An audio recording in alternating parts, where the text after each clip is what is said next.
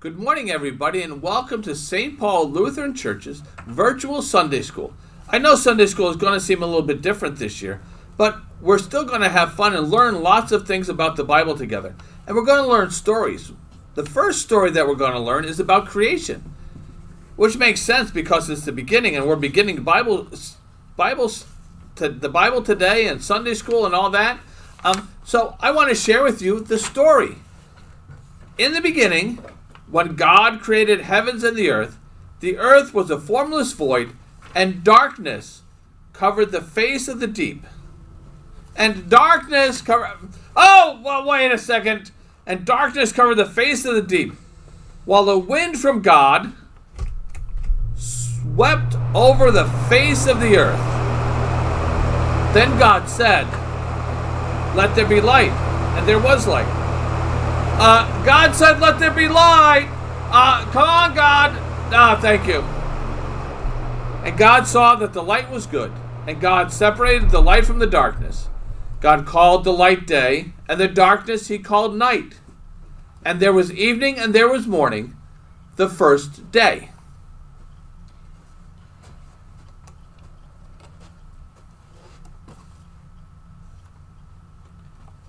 And God said, Let there be a dome in the midst of the waters, and let it separate the waters from the waters.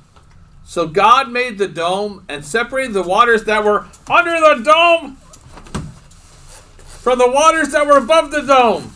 And it was so. God called the dome sky.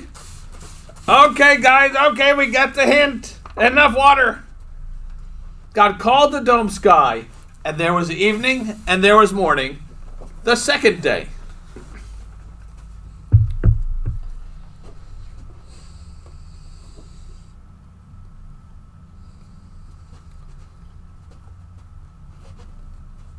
And God said, Let the waters under the sky be gathered together into one place, and let the dry land appear. And it was so. God called the dry land earth, and the waters that were gathered together he called seas. And God saw that it was good.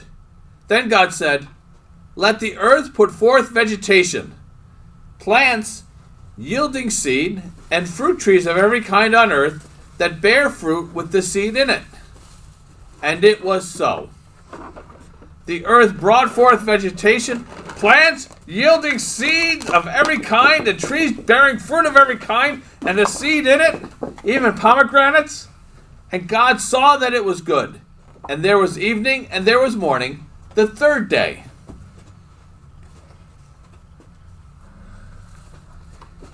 And God said, Let there be lights in the dome of the sky to separate the day from the night. And let them be for signs and for seasons for, and for days and for years. And let them be lights in the dome of the sky to give light upon the earth. And it was so. God made the two great lights the greater light to rule the day, and the lesser light to rule the night, and the stars. God set them in the dome of the sky to give light upon the earth, to rule over the day and over the night and to separate light from darkness. And God saw that it was good. And there was evening and there was morning, the fourth day.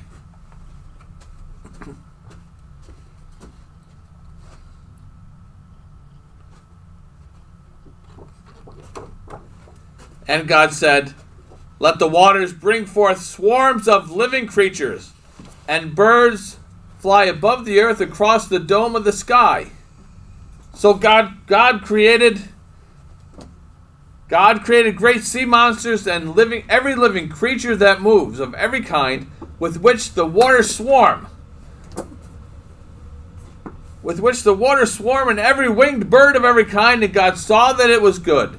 God blessed them, saying, Be fruitful and multiply, and fill the waters in the seas, and let the birds multiply on the earth. And there was evening and there was morning, the fifth day.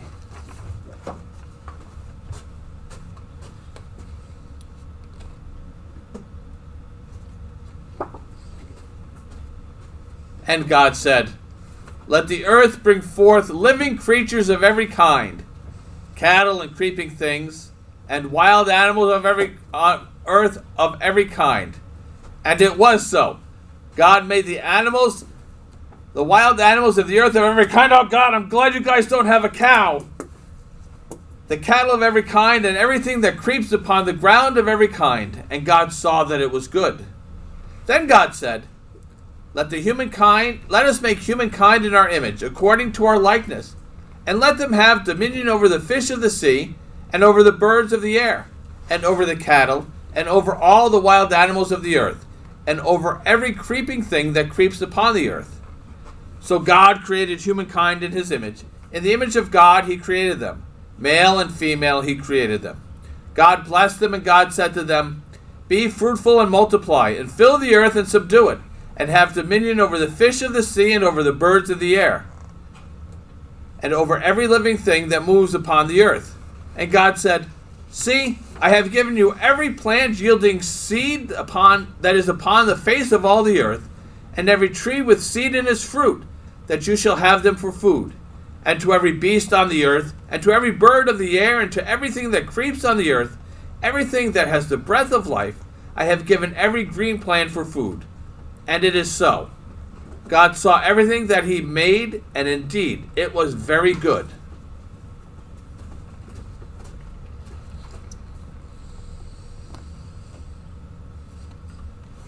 And there was evening, and there was morning, the sixth day.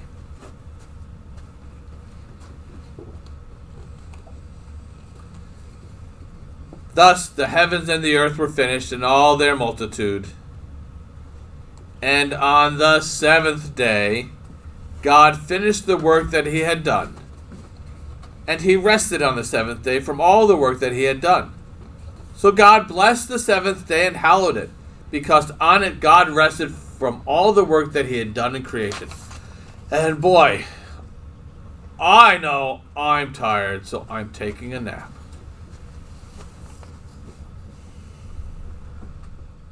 Go.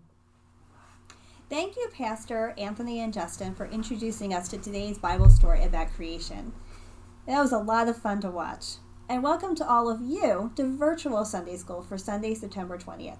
I'm so glad that you're here. It's the start of a new school year, and whether you are going to school in person or doing virtual school, it's always exciting to start something new. As you can see, we decided to start virtual Sunday school, but hopefully we can be together with our friends at St. Paul again soon. The book of Genesis tells us about the beginning of the world. That's really cool. God made all natural things like water, rocks, trees, animals, plants, and people. I'm going to read parts of the story of God's creation once more, but this time as I'm reading it, I'm going to do some actions and I want you to follow along with me. Get ready to do what I do. In the very beginning of time, before there were any people or animals, or night or day, there was God. The world was dark and covered with water. God decided to create a world.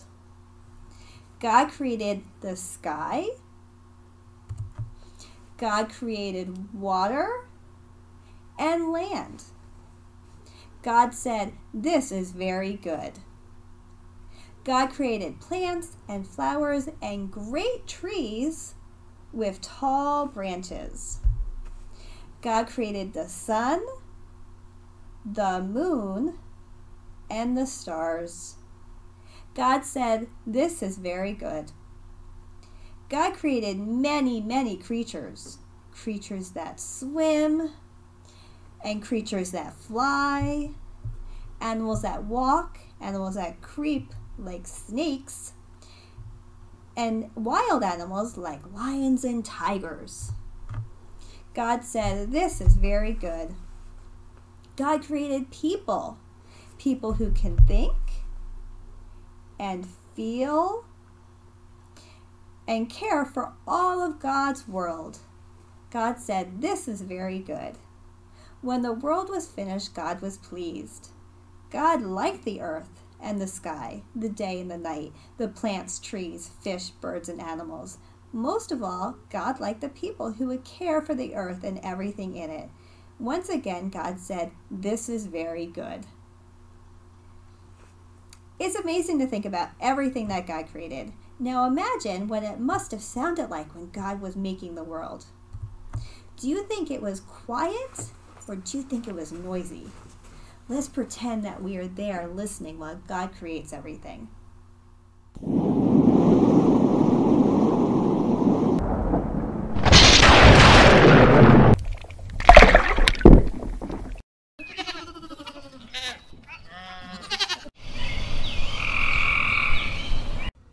Wow, what did you see and hear? There was a lot of noise. There was wind, lightning, thunder, fish in the oceans, and many animals. It didn't seem quiet, did it? There was definitely a lot of noise. Genesis chapter 1, verse 31 says, God saw everything that he had made, and indeed it was very good. Here is a fun video for you to watch called Stories of the Bible Creation. Go ahead and watch the video, and I'll, I'll meet you on the other side of it. Stories of the Bible Creation In the beginning, God created the heavens and the earth. The earth was empty, formless, and dark. But the Spirit of God was there. On the first day, God said, Let there be light. And God saw that the light was good. Then he separated the light from the darkness. God called the light day and the darkness night. On the second day, God said, Let there be a space to separate the waters of the heavens from the waters of the earth. God called the space sky. On the third day, God said, Let the waters beneath the sky flow together into one place, so dry ground may appear. God called the dry ground land and the waters seas. And God saw that it was good. Then God said, Let the land sprout with every sort of plant and tree. And God saw that it was good. On the fourth day, God said, Let lights appear in the sky to separate the day from the night. God made two great lights, the sun for the day and the moon for the night. He also made the stars. God set these lights in the sky to light the earth, and God saw that it was good. On the fifth day, God said, Let the waters swarm with fish and other life. Let the skies be filled with birds of every kind. And God saw that it was good. On the sixth day, God said, Let the earth make every sort of animal. God made all sorts of wild animals, livestock, and small animals, each able to have babies of the same kind. And God saw that it was good. Then God said, Let us make man in our image, to be like us. So God created man in his own image. He formed man from the dust of the ground. He breathed the breath of life into man, and a man became alive. Then he saw that the man needed a helper, so God put man into a deep sleep, and while he slept, God took one of the man's ribs. Then God made a woman from the rib and brought her to the man. Hello. Hi. Then God blessed them and said, Be fruitful and multiply, fill the earth and rule over it. Rule over the fish in the sea, Hello, Lamb. the birds in the sky, Hello, Bird. and all the animals that scurry along the ground. then God said, Look, I have given you every plant throughout the earth, and all the fruit trees for your food, and I have given you every green plant as food for all the animals. Then God looked over all he had made, and he saw that it was very good. So the creation of the heavens and the earth and everything in them was done. So on the seventh day, God rested from all his work, and God blessed the seventh day and said it was holy.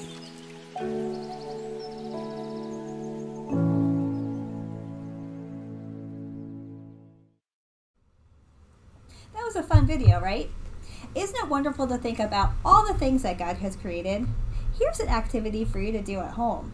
I want you to spend some time looking at God's great creation. God's creation comes in all different forms, places, and sizes. Your job is to find a pho- and photograph something very large that God created, something very small that God created, something you find funny or interesting that God created. My family went hiking last weekend and took some pictures. I'm going to show you what we found.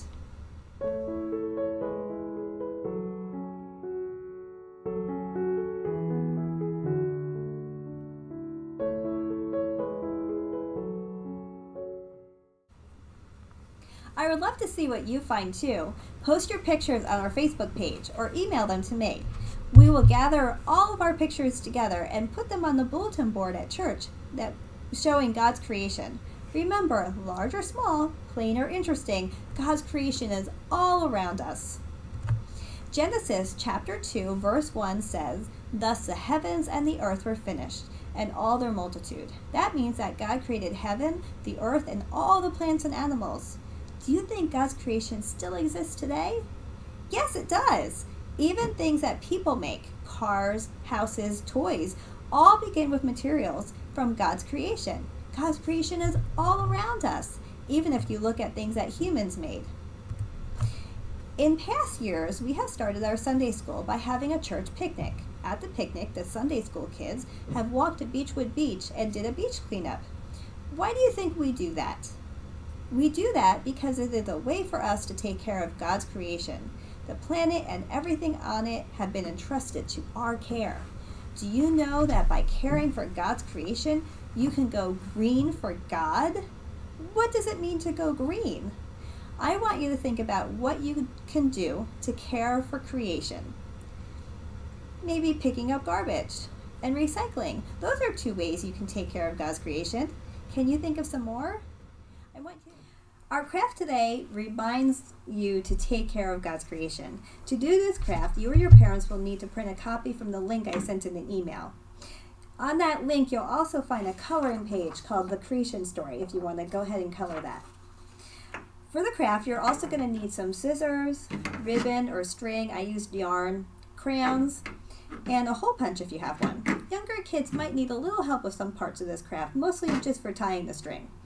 If you are not able to print out the papers or need any supplies, I will have extras available outside my office at church for you to pick up.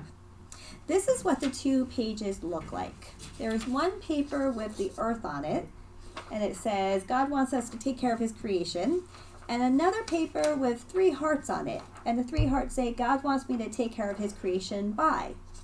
Do you remember how I asked you to think of ways to care for God's creation? Go ahead and write one idea on each of the hearts.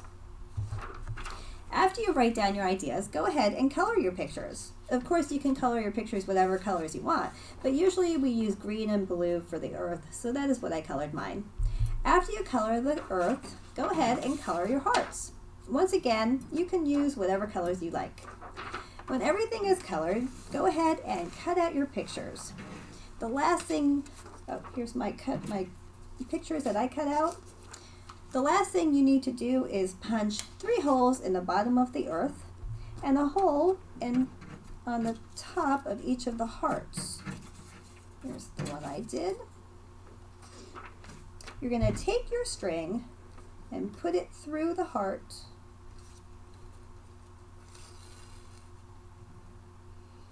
And then you can put it through the earth on the bottom there and tie it up.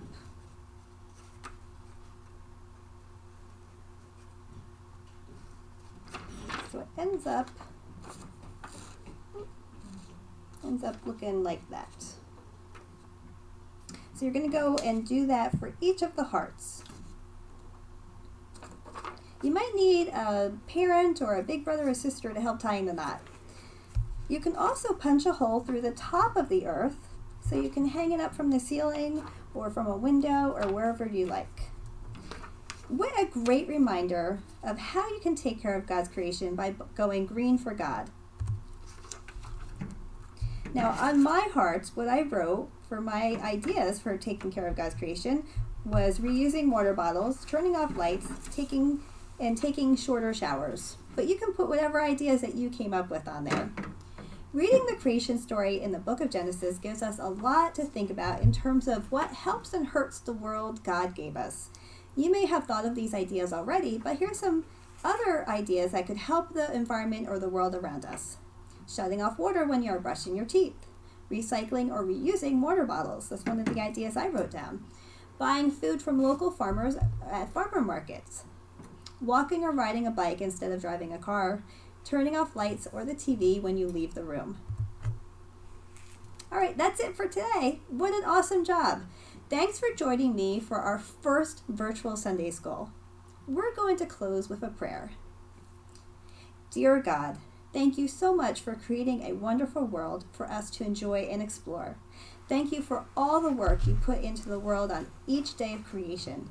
We pray for all parts of your creation, especially the animals, the plants, flowers, and trees, and all things that grow, the oceans and rivers, and all the people that live on earth. Help us to take care of your good creation. We pray for these things in your name. Amen.